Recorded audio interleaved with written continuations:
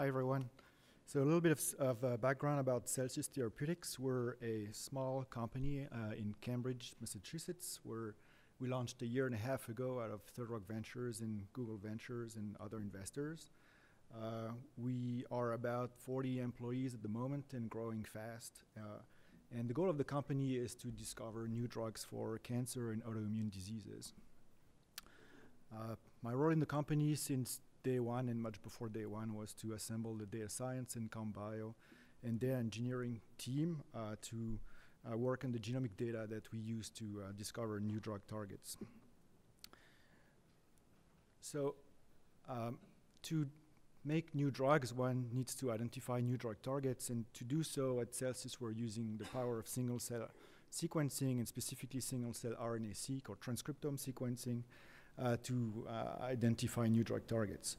And to uh, give a, a, a simplified representation of what single cell RNA-seq is, people often use this smoothie comparison where uh, where if you were if you wanted to see, to understand what are the fruits that are uh, uh, present in the smoothie, that would be very complicated. You would have a, really an average or uh, average representation of it, but the, the, the, comparison with single cell sequencing is that we can identify each, each fruit that is present in it and uh, not just uh, what, what kind of fruit, but also their quantity and, and taste and, and so on.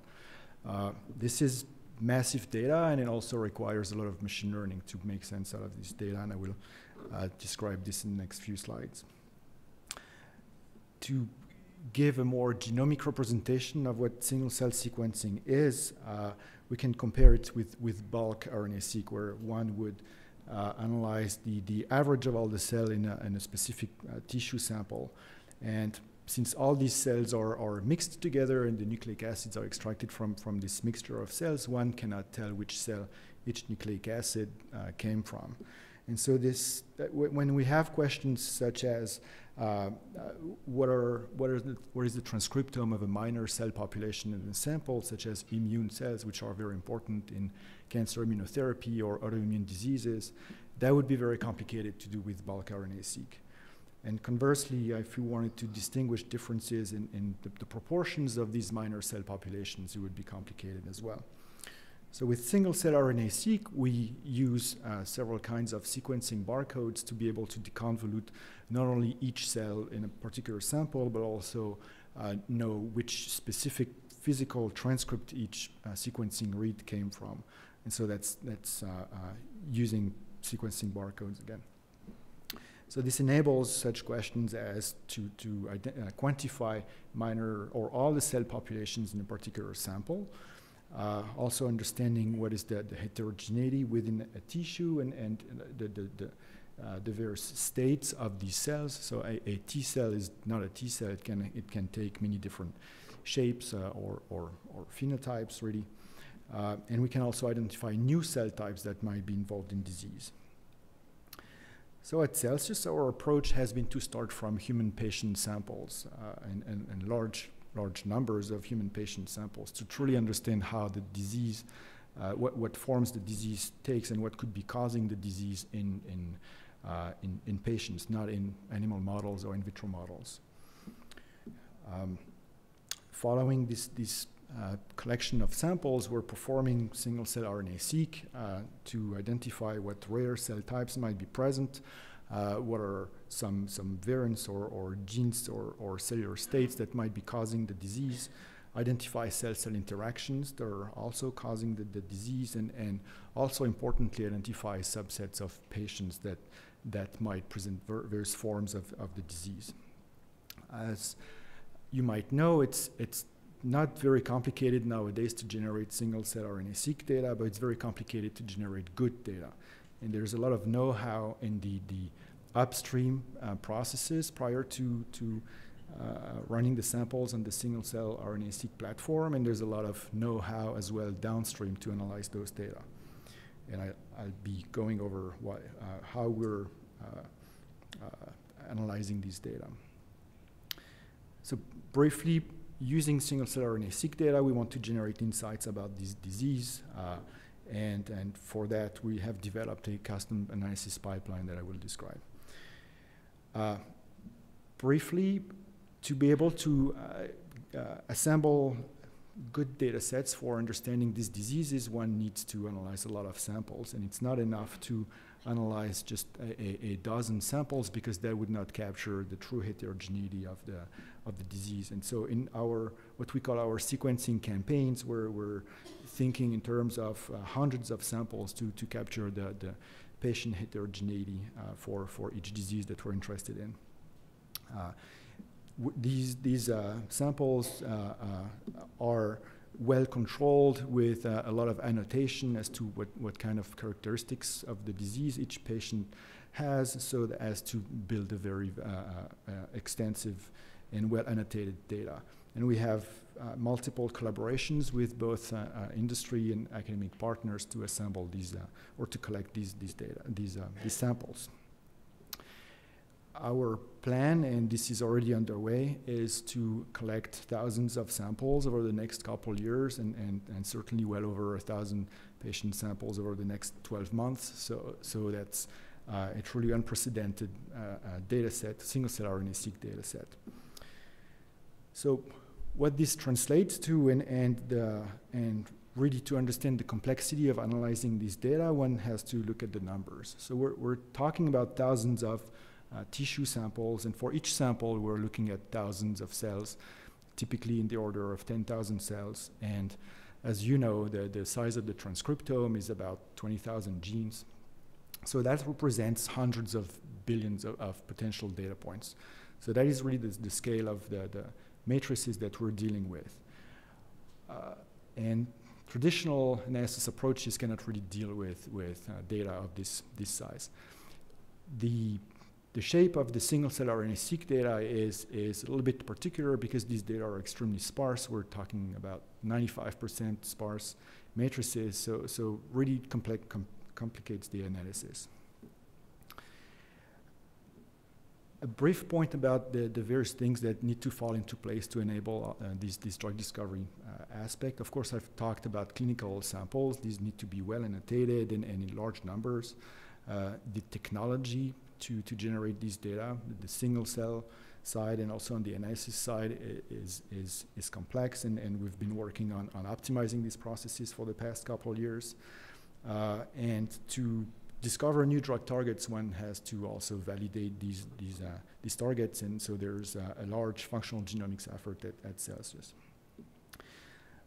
So now switching gears a, a bit and talking about the analysis, we've uh, established an analysis pipeline in AWS Cloud. We've uh, used uh, the, the uh, biotech blueprint created by Third Rock and AWS, and that really helped us tremendously at the beginning to jumpstart our, our analysis or, or cloud environment.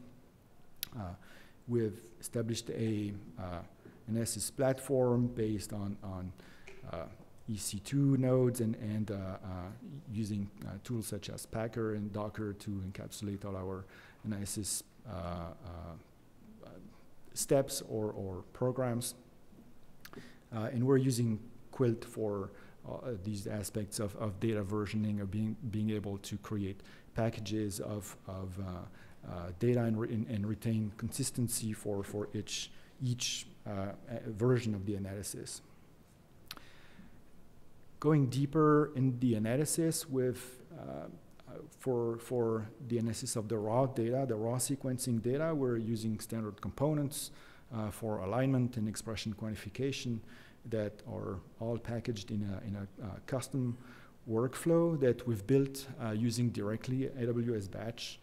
Uh, we've explored multiple tools that allow to, to run workflows such as uh, Nextflow or Airflow and Cromwell and others, but really the, the, the time that we, we, we, thought or we determined that the time that it took to um, uh, encapsulate uh, all the analysis steps using those tools or using AWS Batch directly was, was almost equivalent, and we had more control over the, the, the, uh, the scheduling of the, all the steps of the analysis pipeline by, by using AWS Batch directly.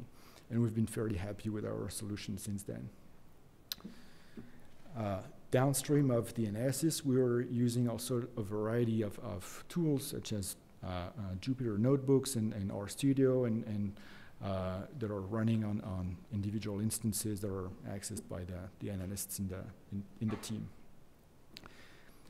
So the challenges of the analysis of single-cell datasets are, are numerous. First of all, there's uh, when looking at the, these data, there's differences in, in the size of the, the individual cells that we're analyzing that have, uh, and the consequence of that is that the, the, the, library complexity or the size of the sequencing library for each cell is, is uh, different and, and one needs to normalize for this. There's also important batch effects in, in single cell RNA-seq data that one needs to, to model and, and there are multiple other uh, challenges with, with this data such as when, when the cells are more or less uh, uh viable, they, they also, we, they also start to express multiple uh, genes that can confound the, the, the analysis. Uh, mRNA, or like the messenger RNAs that we're primarily interested in, really constitute 1% of the messenger of the sorry of the RNAs in the cell, and so one can have a lot of uh, contaminations of, of other types of RNAs in the in the sequencing that also confound the analysis. Uh, as I've mentioned before, these data are very uh, incomplete, very sparse. So to, to make the most sense out of them, we need to perform imputation, and, and I will uh, describe that step uh, in more detail uh, in further slides.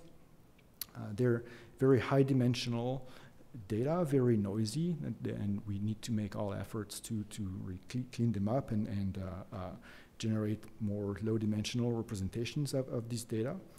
Um, and the many of the, uh, one of the main challenges with the single cell RNA-seq data is to annotate these data and, and uh, understand what kind of cell uh, we're, we're dealing with. So to do many of these steps, we're uh, using a lot of machine learning tools. One of them uh, is called single cell variational inference of, or SCVI, which is a deep, deep generative neural net uh, to, that, that we're successfully using to, to address many of these challenges one aspect due to the high dimension of, of, these data is that they take a lot of time to, to analyze. And they really, as I mentioned before, where we're talking about hundreds of billions of data points, so that, that really takes, can take hours for some of our bigger data sets. This is a problem because when we want to iterate over the analysis uh, for, for various reasons, we were, we're spending a lot of time just waiting for, for the, that analysis to be done.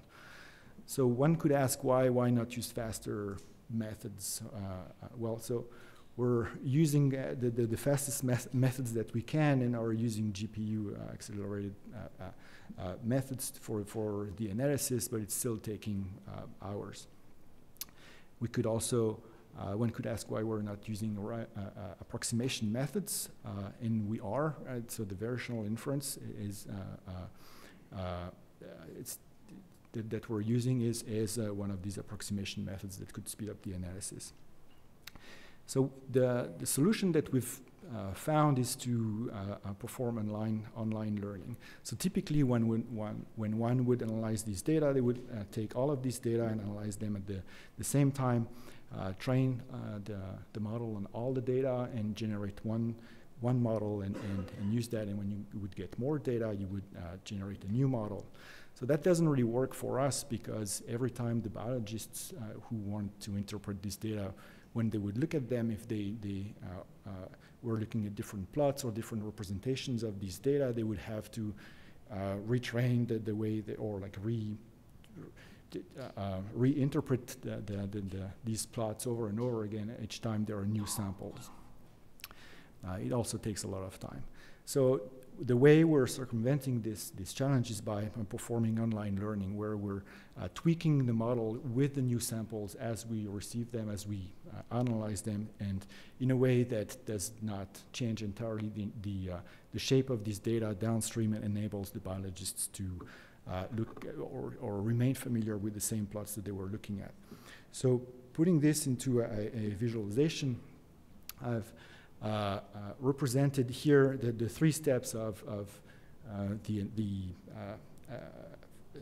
online learning process, where on the left, this is a, a t-SNE representation of the data, which is a 2D representation of the entire gene expression matrix, where each dot represents a cell.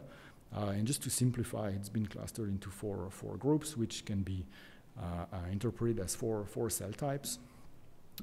Uh, and so we would typically fit, fit the, the, the core data uh, overnight uh, or, or on a, a infrequent basis to get not only a, model of the data, but also a t-SNE representation of it. and then when we get more samples, we can simply project the additional cells on, onto this uh, same model.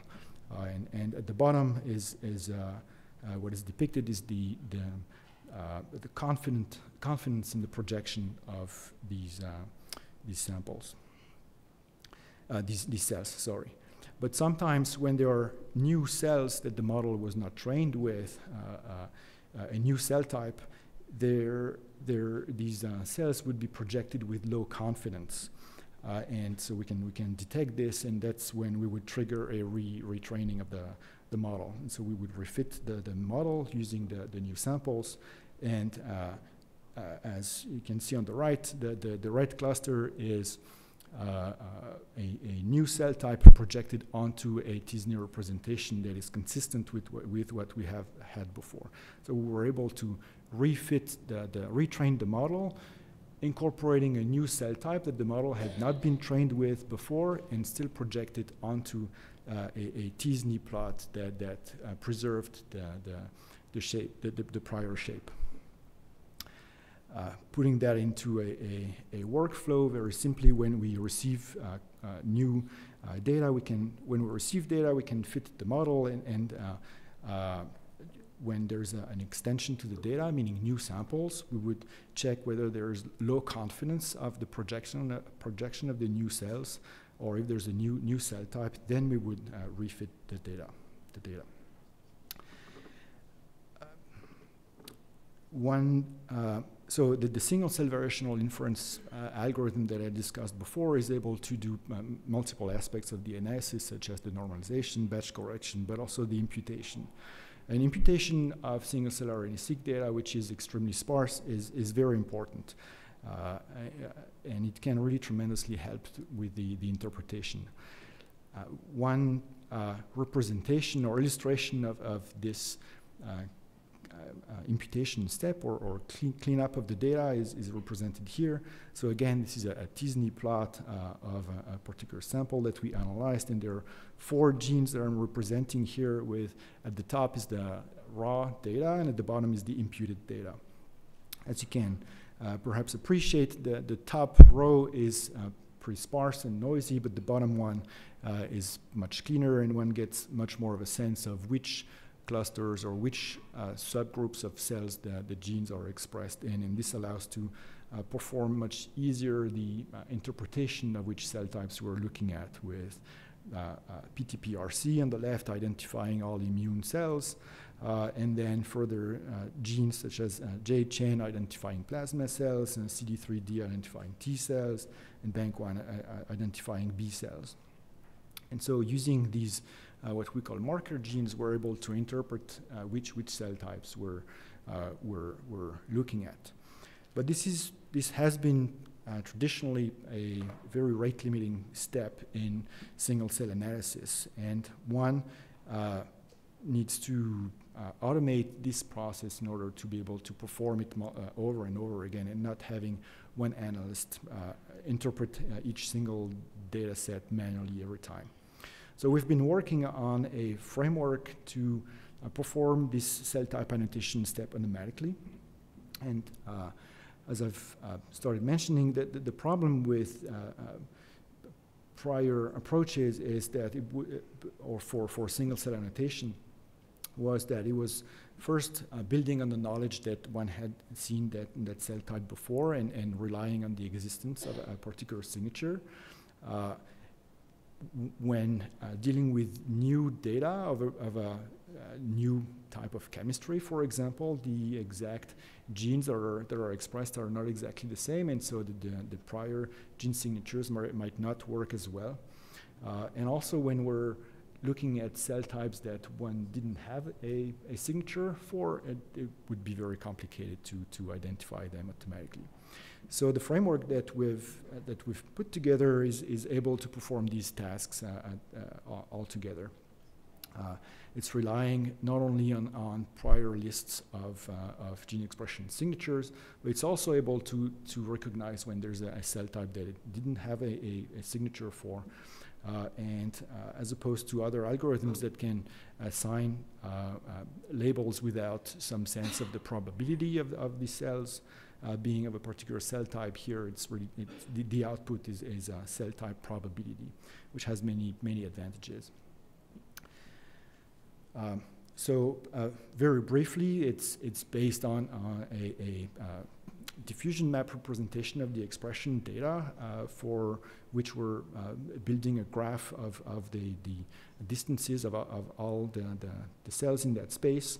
And for each cell, we're, or sorry, for each diffusion component, we're annotating the, the boundaries of that diffusion component.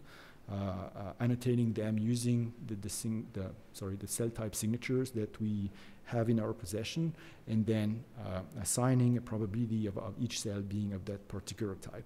So simply represented here, if we had three cell types in that, that data set, stromal cells, myeloid cells, and, and T cells, and where we would annotate the, the three boundaries of, of uh, the, the, the, cells in, in that space if we're looking at, at cell 2, uh, it would have a higher uh, probability of being a myeloid cell than, than a, a stromal cell. cell. And we do, do that for every cell in the data set so as to have a probability for each cell to be of, of uh, each cell type. Um, taking that, that idea a, a, bit further, we're starting from uh, a database of, of signatures for, for all cells uh, that, that we know of. Uh, of course, one, the traditional way of representing cell types was in a sort of lineage, cell lineage hierarchy, but one, we, we know now that this is not truly the case. Everything is very fluid and there's not a clear separation between cell types. Nonetheless, it's a good starting point to, to have these cell signatures uh, in, in a database. We're using them to assign probabilities of, of each cell type, as I've mentioned in the previous slide. But then we're sort of retraining our database of, um, uh, of, of, existing sig cell signatures by using the current data we're analyzing to, to re-derive a, a, list of, of markers that are optimized for the particular data set that we're looking at uh, which could be uh, highly influenced by the, the type of experimental, experimental procedures or the type of tissue that we're looking at. So it's important to, to re-optimize our signatures as, as we go. And that is uh, uh, uh fed back into the, the, the, database. And this allows us to not only optimize the, this cell calling step as we accumulate more data, as we're uh, looking at more uh, tissue types and as we're looking into more, more diseases. So it's been ex an extremely important step for us to, to uh, streamline this, this step of the single cell annotation data. So in conclusion, I would like to uh, thank uh, multiple people. First of all, the patients and their families. As I've mentioned, we're analyzing thousands of, of tissue samples, and each sample comes from a patient who made the choice to uh, allow us to, to look at their, their uh, uh, biopsy for advancing science and drug discovery. Uh, the Celsius Therapeutics team uh, is that, that uh, um, has been working on the data that I've presented. A very talented group of, of people. There's um, the work of people in the single cell genomics team that have, that have presented. They've uh, been uh, making tremendous advances in, in the, the single cell genomics uh, field. And also, I would like to acknowledge the entire data science team. In particular, uh, Greg Demarais, who has uh, been establishing our AWS and data engineering uh, and Noah Spies and Tommy Boucher, who have been working on computational biology and machine learning approaches. Thank you.